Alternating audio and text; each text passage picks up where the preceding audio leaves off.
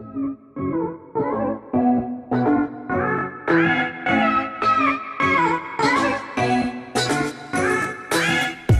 guys.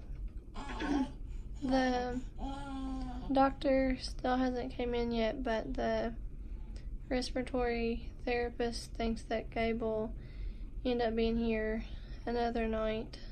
Mr. Gabe. He is doing a little bit better today. Oxygen is staying up without him having to be on oxygen now. Um, the other thing they were worried about yesterday was his um, respiratory rate. I'm not sure if that has slowed down or not, but seem to be doing a little bit better. Thank goodness. And um, I came in earlier and stuck his heel.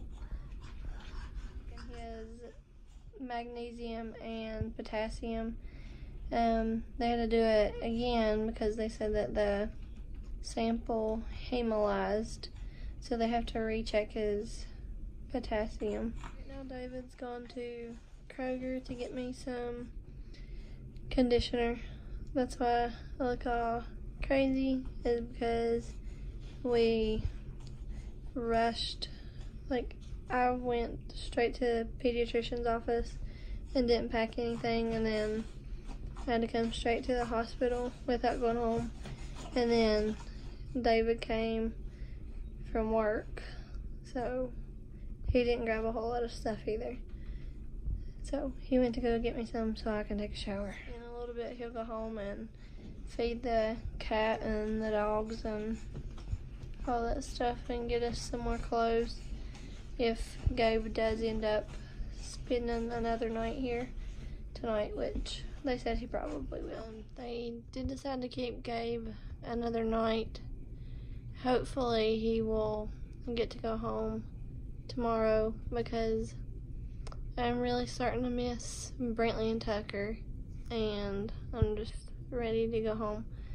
And I really want him to be better before he does go home because I'd rather him be here and then be able to watch him than for us to be home and something go wrong. On the bright side, I talked to Brantley's kindergarten teacher earlier and she said that um, he can go to first grade. So I'm really excited about that and I'm really proud of him. He's worked really hard to make the progress that he's made this year. Because last year he kind of fell behind because he couldn't focus. And then we worked really hard last summer and we've worked really hard over the school year.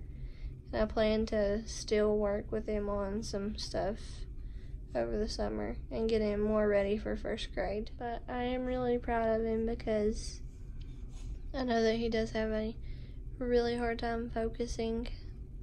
He's on medicine now, so that does help some, but he does still have a hard time. Gabe finally gets to go home, and I am so glad. Hey, Mr. Gabe. Are you glad you get to go home? Are you glad you get to go home? Are you glad? Are you glad you get to go home? You got your Abby out. You're a free baby.